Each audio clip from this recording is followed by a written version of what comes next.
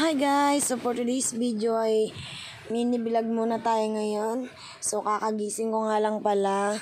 Tamang stretching lang muna ako ngayon. At talaga namang nakakatamad talaga bumangon kapag umaga dito sa Indang kasi napakalamig. Sobrang lamig talaga. Hindi pwedeng wala kang jacket, wala kang medyas, wala kang suot na pants. Diyos ko naman, ayan, binuksan ko na nga pala yung, uma- yung bintana namin kasi nga, ayan talaga ang pamahiin namin dito kasi kapag umaga, kailangan ang una mong bubuksan ay yung bintana. So, binuksan ko na nga rin pala yung pangalawang bintana namin sa second floor. Oh my God, may second floor pala kami. Charis lang. Ayan, nahirapan pa nga akong buksan kasi nga nasira pala yung alambre nito. So, ayan, Diyos ko, makikita nyo naman, kung maririnig nyo rin, napakalakas talaga ng hangin. Sa totoo lang, at yan, binuksan ko na nga pala yung pinto namin na sliding door. Kasi nga hindi pwedeng hindi nakapadlock yun kasi pumapasok yung mga dogerman namin. So ayan na tingin-tingin muna ako sa paligid. Talaga naman napakaaliwalas at hindi na ulit nag-aambon dito. So ayan. Nagparingas na nga ako. Nagparikit na rin pala ako kasi nga ako yung magpapainit ng tubig kasi hindi ako pwedeng hindi magpapainit ng tubig sa umaga kasi naliligo yung mga bata. Pero for today's video ay hindi sila muna maliligo. Kasi nakaligo na sila kahapon at tinatamad nga daw si ate maligo. Kasi napakalamig. O ayan, kung makikita nyo naman, Diyos ko, ang lakas-lakas ng hangin. My goodness, ayan, Diyos ko, talaga naman.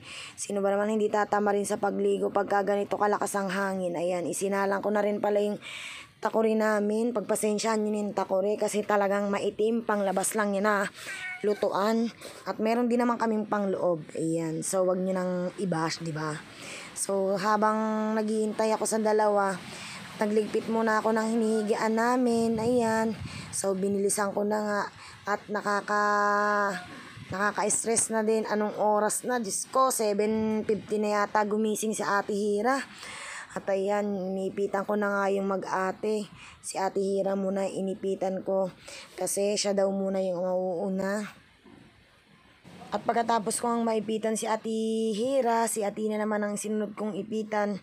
Kasi nga, medyo nagmamadali na tayo for today's video. Anong oras na? Diyos ko, 7.48 na yata yung pagkatingin ko sa orasan. Nilagyan ko na nga rin pala sila dyan ng pabango. Sinunod ko naman si Ate, si Ate Hira lagyan ng pabango. Ayan, at pagkatapos ko nga sila lagyan ng pabango, ay pumunta na nga pala kami sa labas. Sabi ko sa kanya, eh, mag-bless na siya sa daddy niya. At Diyos ko, may kamayan pala silang dalawa at nag-kiss na nga siya. Pagkatapos na nagbabay na nga rin pala ako kay Atina kasi huli siyang papasok. 8 pa naman ang pasok niya. Si ate rin naman, kaya lang medyo may kalayuan din ang school ni Ate Hira, kaya siya na muna ang una kong hinihatid. Habang naglalakad-lakad kami dyan, ayan. So, nandito na nga pala kami sa may school.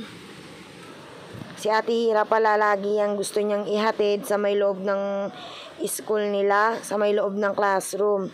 Kasi nga, nahihiya daw siya. Ganyan, 6, 5 years old, nahihiya na yung anak ko. Mahihiyain talaga tong anak ko na to. Sabi ko nga sa kanya, kiss na anak. Pauwi na si mama.